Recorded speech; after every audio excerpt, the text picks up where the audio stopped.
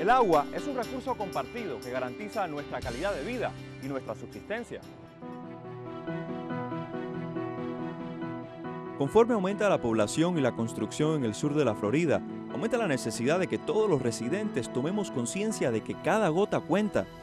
El uso consciente del agua aumenta el suministro disponible de las fuentes que ya existen, lo que nos ahorra energía y dinero, sobre todo en nuestra ciudad donde la necesidad de irrigación es muy grande.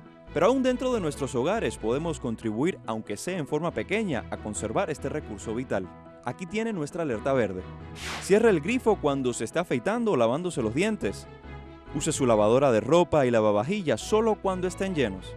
Esté pendiente de las goteras. Un solo grifo con una gotera desatendida puede desperdiciar 100 galones de agua en un día. Nos vemos aquí en Telemundo 51 con otra alerta verde.